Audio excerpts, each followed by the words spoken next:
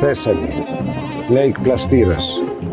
A nice place to live, to visit. There is a wonderful place.